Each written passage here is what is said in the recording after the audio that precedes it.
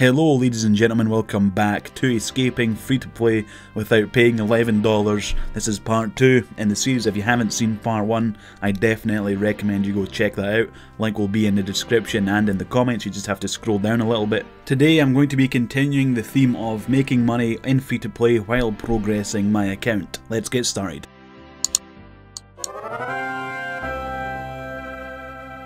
Here is the stats. This is where we left off last time. 20 combat stats, 40 range, 33 magic, 34 hit points, 47 mining, 36 smithing. And the bank value is just under 1 million GP, so we need about 2.5 to 3 million more GP before we can get a bond. We are 33 magic, so we can use telegrab and hypothetically do one of the best moneymakers in free to play, which is telegrabbing Zamorak wines. But back in summer, they reworked how players can get the Zammy wine. The wizards, the Zamorak wizards or priests or whatever they're called, Zamorak monks, I think maybe, on the ground floor of the Chaos Temple where the wine is found, now attack you when you telegrab wine and they also reduce your magic level. But they added a second floor where that doesn't happen, it happens more like the original where you don't get attacked, you just get the wine, but it requires 500 total level, something we don't have, and something we should get, so let's get it. I spent a lot of time at the Hill Giants in the last video, so I'm not going to go into detail. They're just an okay way to train combat and make a little bit of cash because they drop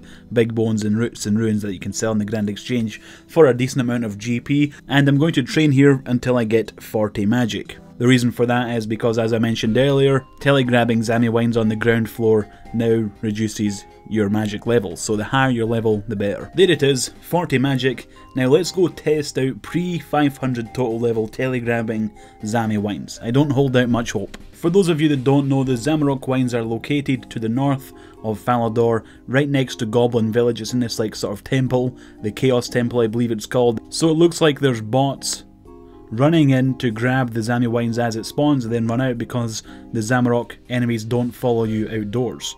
It looks like when they telegrab they stand in between these two sets of candles so that the enemies that are near the door get safe spotted behind the candles. It's actually pretty smart. I could actually just stand here and telegrab them. Sadly though, my stats are still being reduced even without being attacked by a single enemy, so I brought some wizard mind bombs which increase your magic level by 2 I believe. If you're below 500 total level, doing Zammy wines is not worth it. There's only one wine that spawns that you can grab, and there's a bunch of bots competing you for it. You keep getting attacked, you have to bring food and wizard mind bombs, which are a pain to get. It's not worth doing, you don't get much XP. The gold per hour isn't that great because of the amount of bots and stuff doing it at the same time. If you're below 500 total level, Let's not do Zammy Wines. Let's continue to progress the account while making money to 500 total level, then we can do Zammy Wines to make a bunch of GP. There are hobgoblins located on this sandy, sandy peninsula and they're actually not too bad to kill. I wanted to train more combat, and instead of doing the thing I've done a billion times, which is fight cows or hill giants, I decided to come to the hobgoblins and try it out. They drop runes and limpwort roots, I believe. At the time of this recording, limpwort roots are actually bouncing between like 800 and 1000 GP each, so it's not too bad. Sadly, my melee stats aren't that great, so I don't think it's worth it for me to be killing hobgoblins right now. I have 20 attack, strength, and defense. Maybe once I get rune armor and I can take their hits more, I can come back here and test out, but with Mithril Armour, I take way too much damage, the trips don't last very long, although I made 6k GP in my one inventory which only took like between 5 and 10 minutes, it's not too bad as a way to train combat and make money, but the bank is so far away, it's in Falador, and I could teleport there, but still a hefty run back, pretty long run back, so I think Hill Giants are currently still worth it for me, not Hobgoblins, although Hobgoblins are a decent way to train combat, make money, if you're bored of Hill Giants. One thing I never do when trying to make money is bury the big bones. Those are worth like 200, 300 GP each, and they only give 15 prayer experience in free to play. They're really not worth burying. But I do want 500 total level to be able to do the fastest way of telegrabbing wines and make a good amount of money. So, for this one time only, I'm going to be burying my big bones. As you can see, I've already got 10 prayer from doing this. I'll probably do it for a few more levels and then stop and start selling them again. Okay, I got 14 prayer. That's where I'm going to stop. Now it takes too long. It takes too many bones to uh, get prayer levels, so I'm going to start selling them again. I don't think it's worth it anymore. I've also got 33 attack and 30 strength, giving me a total level of 315. That's not too bad. Now it's time to go train some other skills, all these level 1 skills like fishing and cooking and fire making, woodcutting. It's time to get these bad boys up so I can get 500 total. My bank value has barely changed since the start of this video, but don't worry, by the time of this video's end, my bank value will have doubled. Crafting is a fantastic free-to-play skill. Not only is it easy to train, it's pretty AFKable, meaning you can do other things at the same time, like play another game or watch TV, Netflix, YouTube, etc. And you make money while doing it. At least you make money with the way I'm about to show you, which is crafting gold jewellery. It requires level 5 crafting to start off, so I'm just going to quickly buy some leather and turn it into gloves until level 5. Buy some leather, a needle, and some thread. Make a bunch of leather gloves, get level 5 crafting, now we can start gold jewellery. The old school wiki has a fantastic crafting guide that shows you tables of each type of crafting. So uh, what you're looking at right now is the gold jewellery table. It shows you how to go from level 5 to 99 crafting, only making gold jewellery. It tells you how much the materials cost and it tells you how much money you will either make or lose doing it. It also tells you how much materials you need. So you can see from level 5 to 6 making gold rings you'll need 8 gold bars, then 14 and 123 etc. and it goes all the way down to 99. This table is your best friend if you want to do some crafting and free to play to make some money. If you look at the profit slash loss margin of the table, you can see that not every gold jewellery crafting method makes you money. For example, sapphire amulets, if you'd done sapphire amulets from level 24 to 31, you would lose around 18k GP. So just don't do that. Just do the thing that's profitable before it, sapphire necklaces, until you unlock something to craft that makes you money again. Just bypass the things that don't make you money. And that's exactly what we're gonna do. There will be a link to this in the description below, and if there's not one if you go and check, leave a comment to remind me to put it in. We've teleported to Lumbridge because it's right next to Al Kharid, and we need to use that furnace alongside the crafting store to buy the jewellery moulds. Al Kharid crafting store, gimme gimme. Now with the appropriate moulds and materials in our inventory we can use the furnace to start crafting. I am following the table that I just showed you earlier to get 40 crafting, only making gold jewellery and only doing the things that are profitable. So my total level should jump up by 40 levels and I'll make a little bit of cash doing it. There we go, level 40 crafting, I can now use the crafting guild, which has gold ore in it, which is an okay money making method. And I got it just making sapphire rings. I didn't actually go above making sapphire rings because at the time of this recording, which isn't up to date with the table I showed earlier, uh, sapphire rings were the most profitable thing to craft. But I think right now, as I narrate this, it's emerald amulets unstrung, so I don't know, you just have to check the table, see what's profitable if you just want to make the most money possible. If I wanted to continue crafting, I would just make emerald amulets until I got the level I was happy with or the amount of money I was happy with. It's a very simple way to make money. Selling all the sapphire rings that I crafted gets me about 900k, but that's not pure profit because obviously I spent a bunch of money buying the materials. My bank value has shot up though, last time you saw it, it was like the same, it was like 1 mil. Now it's 1.14 can't complain. With 40 crafting I have unlocked access to the crafting guild as long as I wear a brown apron, which I'm doing and inside there are 7 gold ore rocks.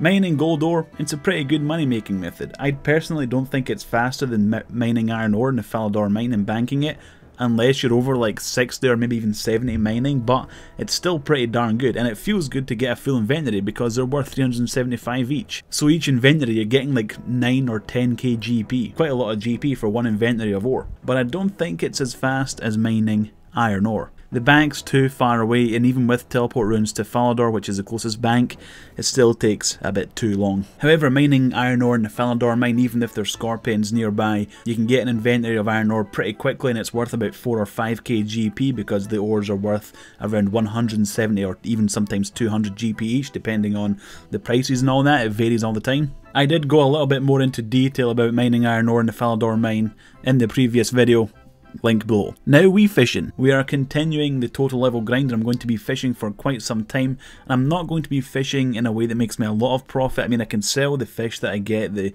shrimp and anchovies and trout and salmon that I fish but they're not really worth a lot of GP. I'm not really in this to make money, I'm in this to get the total level so I can eventually make more money. I fished shrimp in Draynor until 22 fishing and I've come here to Al Kharid to cook all the shrimp, which has gotten me to 23 cooking and 400 total level. We've only got 100 levels more to go. It sounds like a lot, but when most of your stats are still level 1, it's actually not a lot. With level 20 fishing, I unlocked the ability to catch trout by fly fishing. So I got some feathers, I got my fly fishing rod. We're here at Barbarian Village, and I'm just going to catch some trout and cook them on that fire there. That fire behind me is permanent, never goes away. So I can cook all my trout and just drop them. Shift click drop is a thing, a setting you can enable, and you should if you haven't already. And on mobile, I think there's like a tap to drop button you can enable too. So you can power fish here, just fish it, cook it, drop it, get a bunch of levels real quick. If you like the fishing skill and you want to use it to make money for a bond in free to play, then you can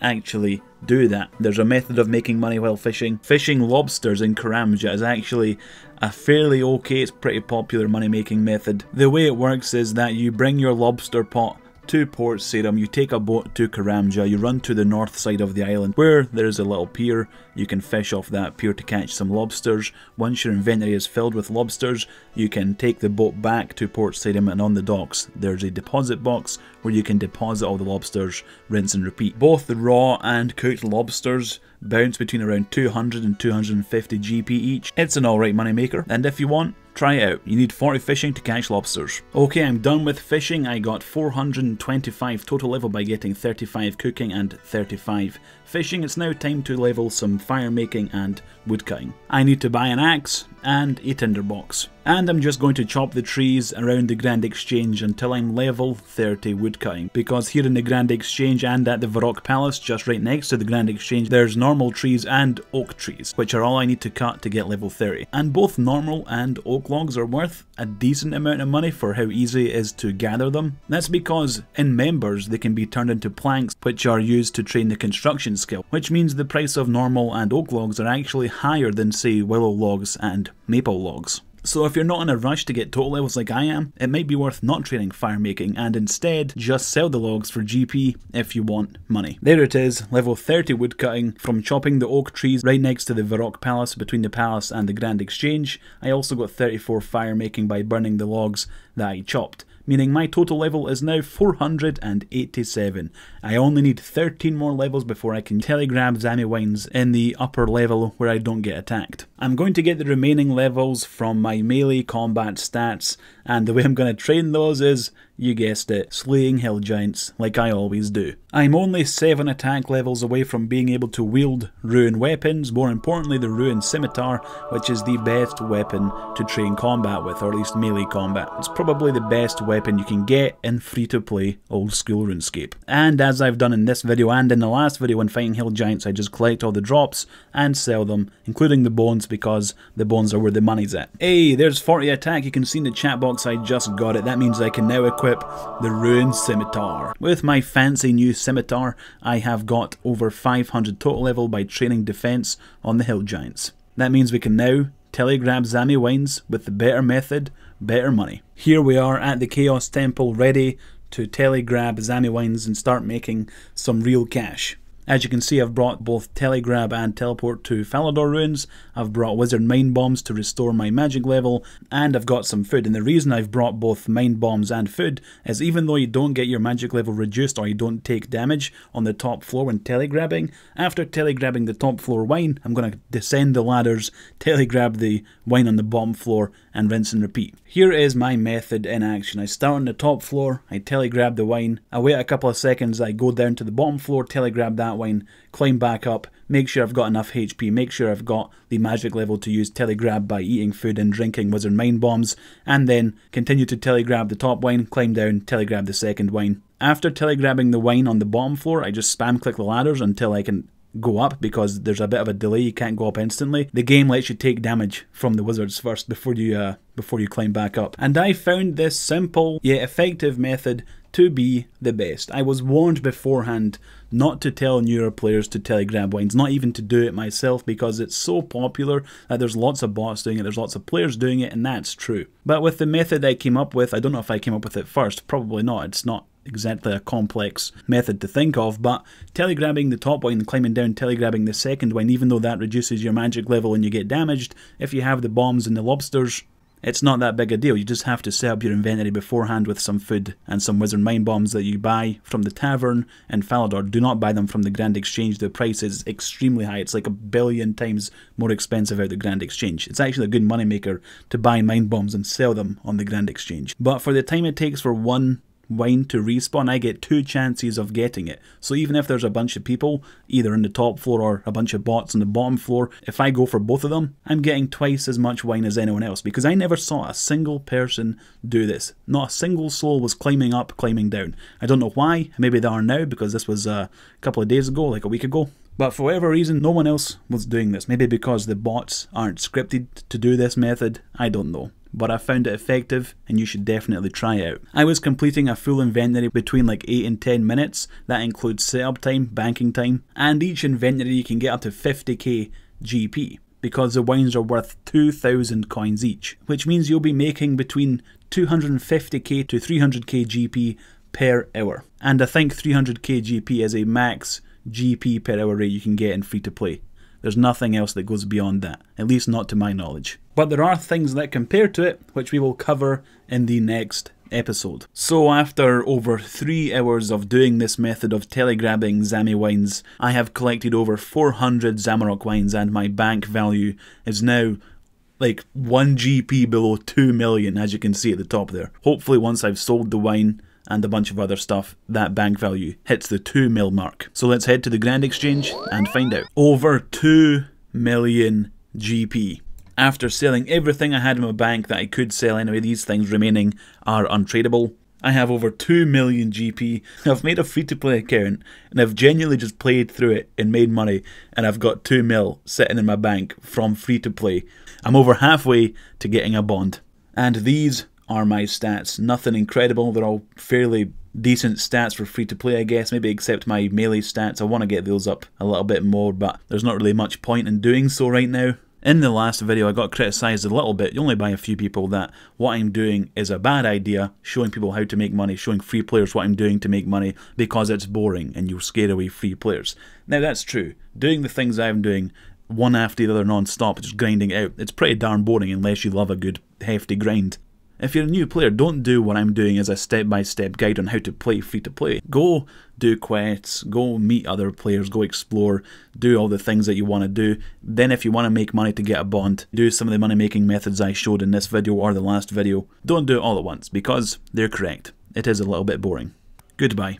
Hey guys, thank you very much for watching that video. I really appreciate it. If you want to subscribe, you can hit this profile picture icon or just below the video there's a subscription button. Make sure you hit the bell too so you know when I upload new videos. And if you want to watch my most recent video, make sure you click on the top right there. It takes you to my most recent video created and uploaded to the YouTube channel. And if you're in the mood to binge watch a bunch of RuneScape videos, that playlist in the bottom right has over 200 of them.